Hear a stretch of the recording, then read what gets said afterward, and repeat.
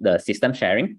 So tonight's system sharing, I have uh, choose to share on the four basic because I think we are already in the month of August.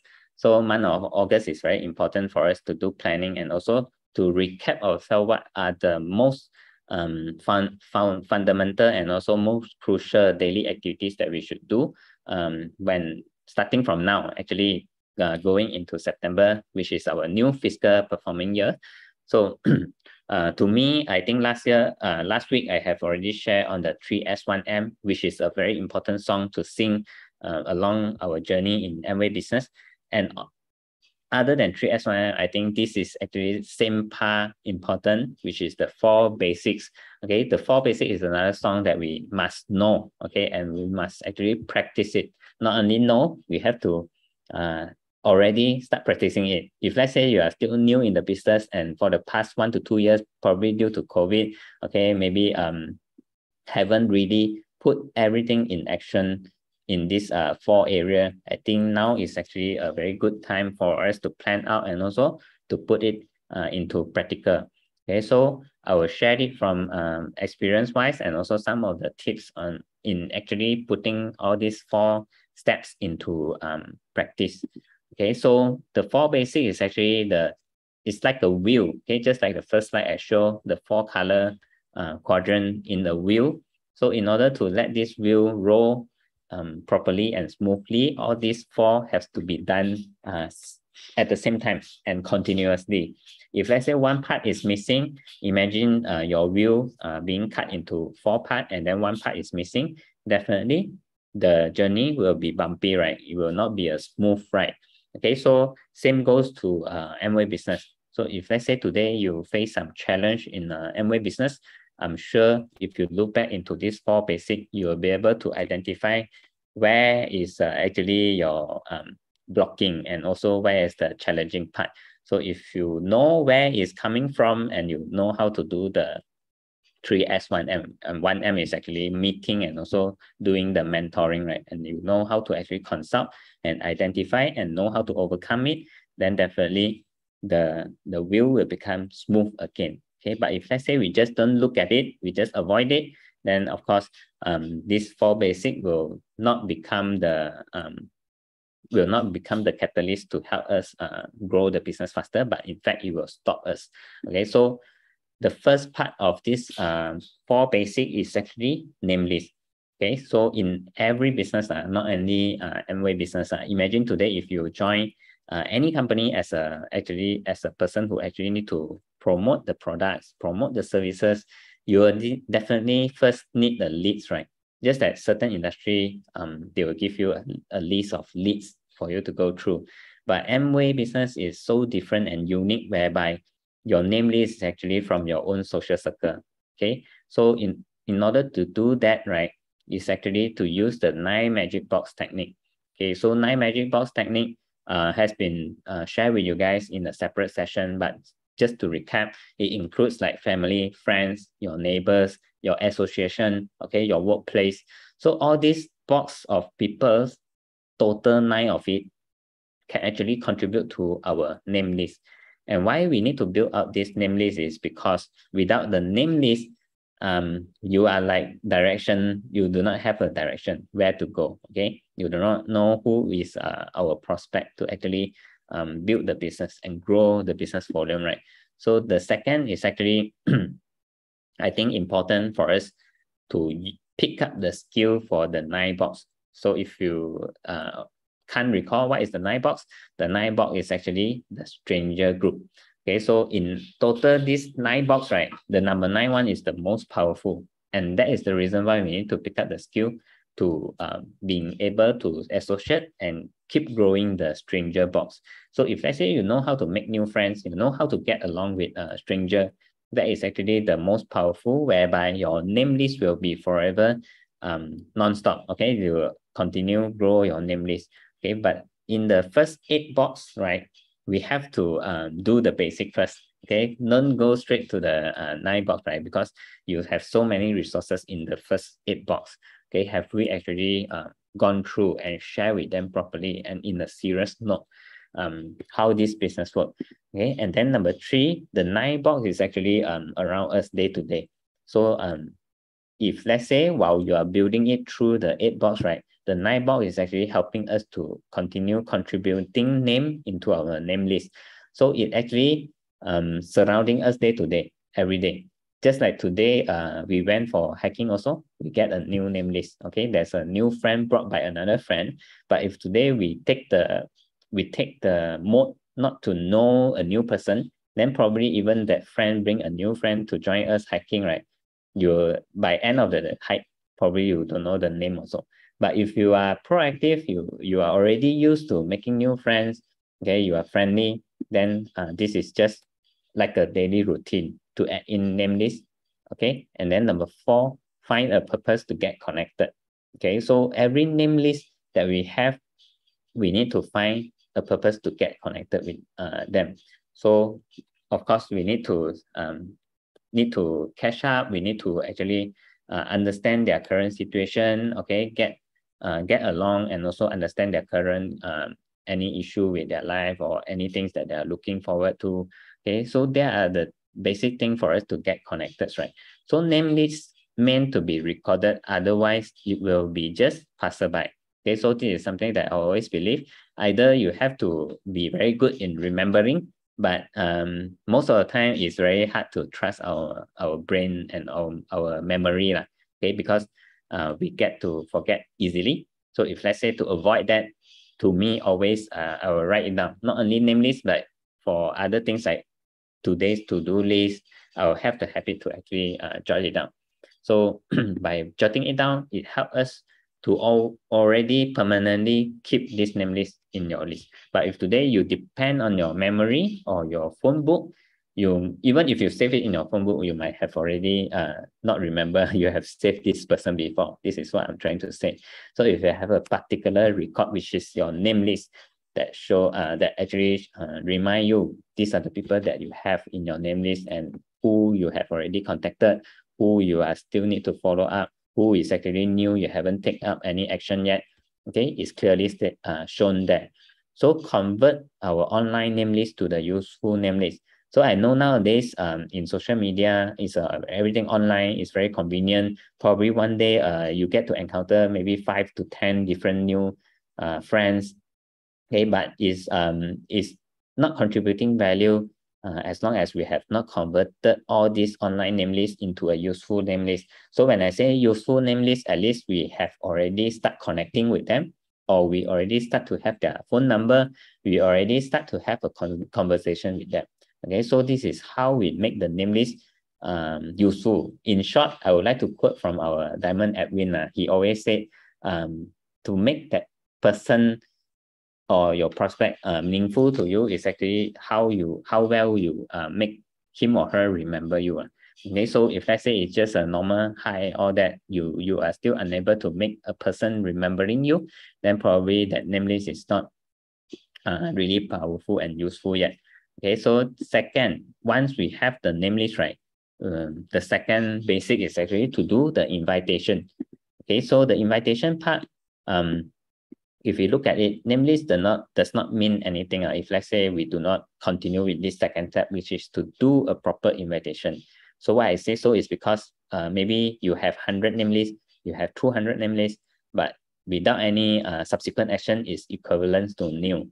Okay, and then the second point, of course, invitation is like the key to activate both builders and also customer. So we will not know uh, the people in our name list whether they will agree to build the business, whether will, they will reject you, they will say no, or they will say yes to the product. Uh, is still a big question mark until you do that invitation. And then if let's say you can overcome this uh, mindset, right? If you are building a business, uh, you already used to whether it's a yes or no answer only, only two uh, anticipated answer. So if it's a yes, then you will know whether it's actually a builder or customer the moment you start to get connected with them with the invitation. Okay, and then thirdly is a strategy. Okay, uh, normally in invitation, I have mentioned a couple of times, which is we uh, we like to use option method.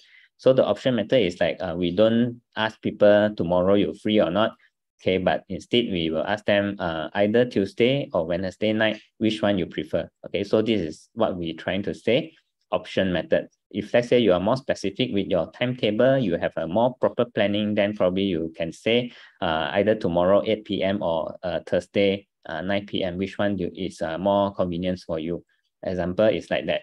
Okay, so not don't uh, give a very vague uh, invitation uh, because a vague invitation will only um, get back a very vague answer. So, so probably your friend or your prospect might say, uh, see lah, when free, then I'll let you know. So that is actually terminating the invitation already, right? So in order to avoid that such kind of termination, we ourselves have to get this strategy right. Lah. And then the fourth point is actually we have to be clear and understand on our own schedule at the first place. So if you are a person who haven't have a proper timetable or a planning on uh, your own weekly at least or a monthly schedule, then first have to do so. Otherwise, uh, you will not be able to effectively execute the invitation because when people say um, tomorrow or uh, or Wednesday also I can't, how about Friday? So when they ask like that, and if you are very clear or you have an immediate uh, sheet for you to refer whether Friday you are free or not, then uh, it's very effective in doing the appointments planning. And then lastly, must well versed in the virtual uh, session nowadays. So even though now already reopen back, we can start to have a lot of uh, offline meetup, all that, but you have to be also well versed in the virtual session because virtual session really, really can uh, save up a lot of time. You can just share uh, OPP if you effectively place an appointment in just within 30 minutes, right? Uh, this is without any traveling times. Okay, so the third third part of the um four basic is actually the STP. So STP is show the plan or commonly known as also OPP, which is the sharing the opportunity of the business. So in terms of sharing the STP, there's no um, there's no uh, fixed format to, for me. Okay, we of course we have a streamlined slide for you to use. You can actually get it from uh, myself or Lin if you wish to get the STP slide. But what I'm trying to say in terms of uh, presenting it, there's no fixed format or there's no fixed style. Okay, I won't teach you how to present it, how to share it, or must be in this voice, must be in this in this uh in intonation. No. Okay, STP mainly you have to let yourself know we are just trying to deliver a message. What is the message is basically the the values of the business. Okay, we need to deliver the value of the business. And because this business is so great that we have so many values, right? So when we share the plan, basically on top of delivering the value, we need to understand which are the values that that person is actually looking most uh, forward to. Okay, so second is actually um, not necessary in the fixed format I already mentioned just now. So we have to be flexible in terms of the present mode and also the content. You can, of course, add in some of your personal experience, some of the data which you think important uh, in the current trend. There's no wrong. You can actually add in. But if you want to get a view from us, you, you can do so. And number three, a good STP comes from a convinced self and a strong why. Okay, it's never, never, uh, nothing to do with your presentation skill, but to me, it's uh, coming from a very confidence and also a convinced self.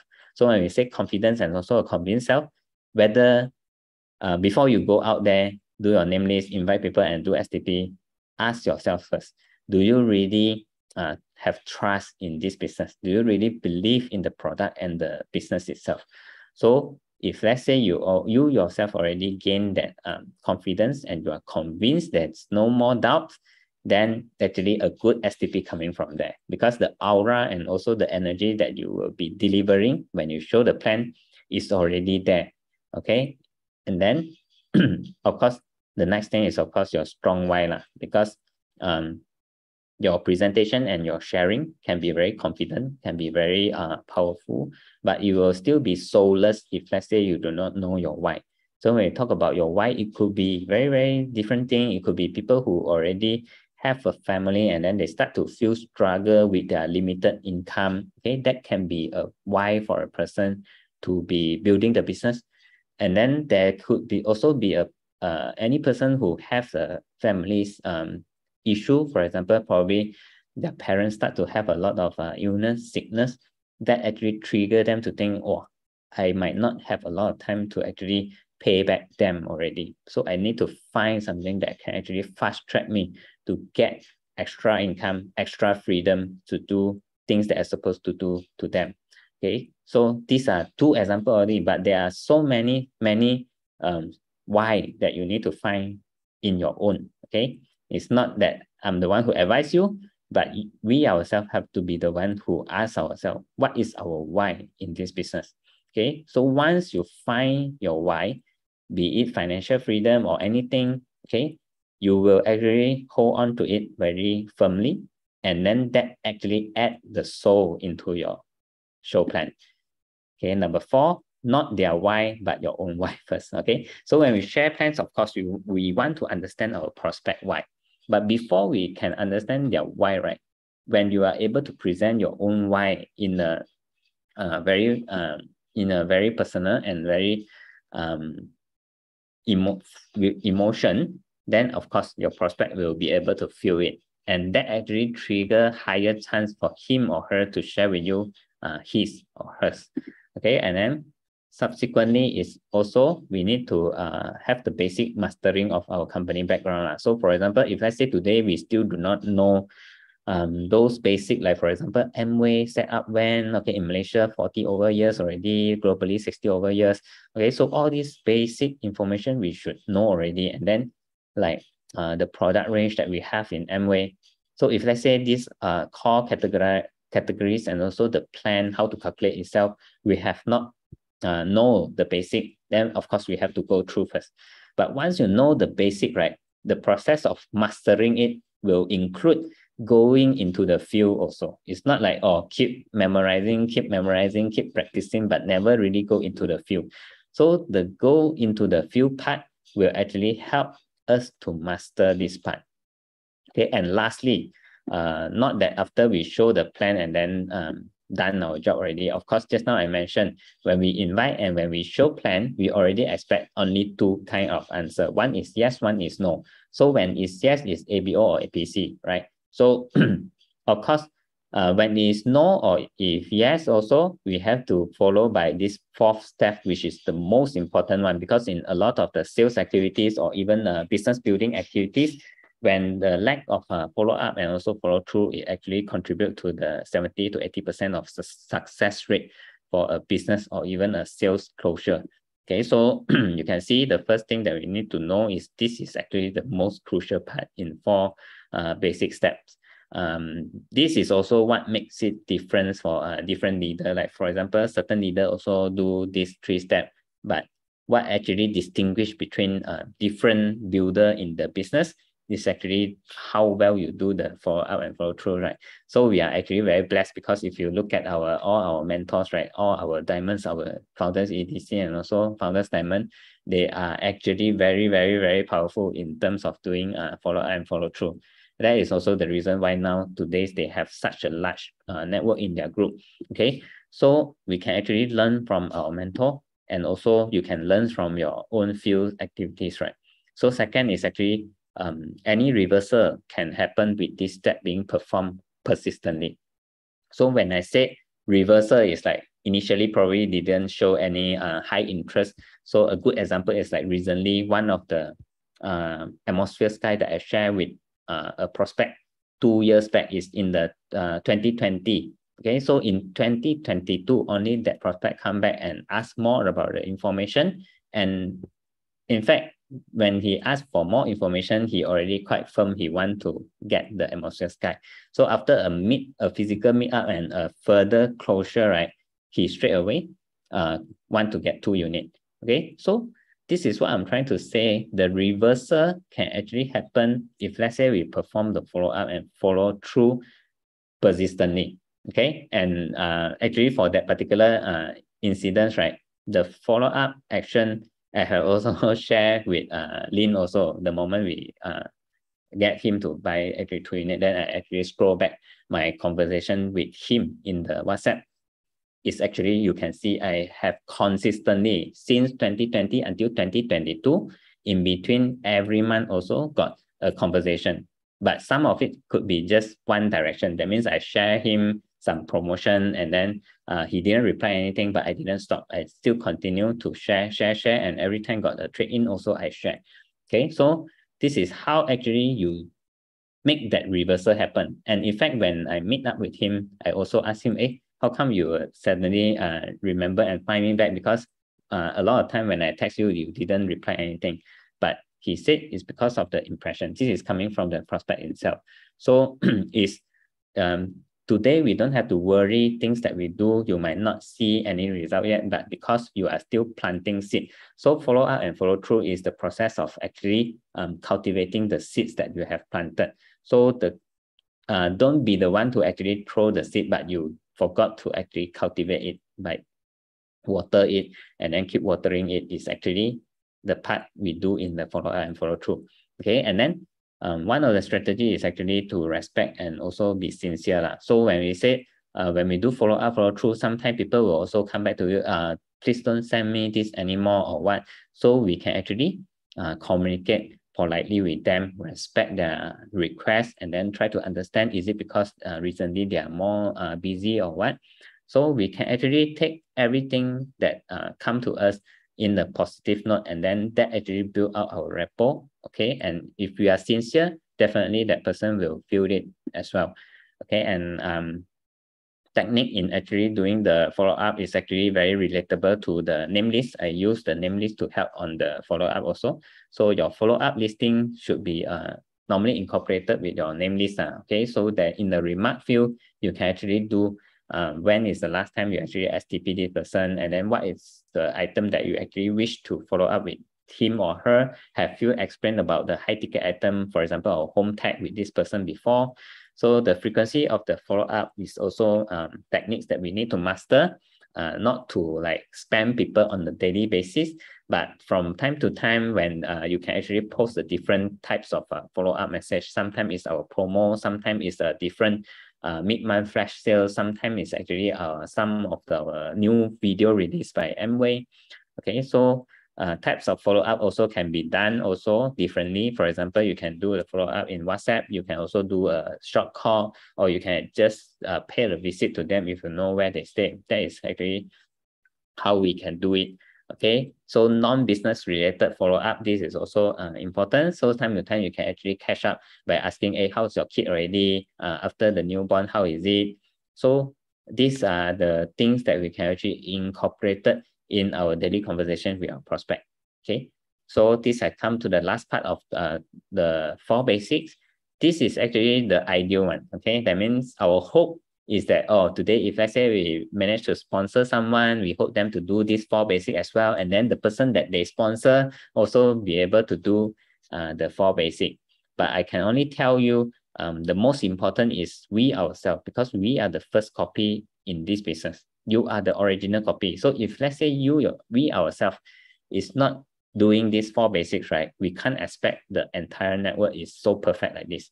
Okay, so even if we are the one who consistently do it, I just need to let all of us know the sponsoring has to continue. Okay, and we have to uh, follow up until the depth. We have to follow up and help our ABO, um, whoever builders that want to also achieve in this business, help them to build their depth and also their width. And throughout this process, you will realize that a lot of time in your sponsoring and in your entire network, it look like this. This is the reality. So our job is actually not to uh, give up anyone, but for those who are in the black color, probably some of them, they, they are okay to keep giving you referrals. They are the one who always keep doing the red color box, which is invitation. They invite a lot of people, refer a lot of people to you, but they do not do all the four basics. So it's fine. Actually, we make full use of that, and then we can actually help them to grow their depth, right? So along the way, probably we will find someone who actually do that four basic together with us also. So those are the people that we will identify as builder, and then we work closely with them and continue to grow this business together in the win-win situation, right? So this is uh, it's important for us to have a concept that the in reality it will look like this. So if let's say you are a person who don't understand the the business you you have the expectation like left hand side probably you will give up or you will uh, let go this great opportunity at too early because you'll see along the way probably in your very depth then only you will meet up with your leaders. So the key is never let your own self uh, fit in these four color quadrants. We are the one who have to continuously execute. If let's say you yourself have uh, determined this is the business and this is the opportunity uh, right for you, the flexibility is the one that right for you. Okay, so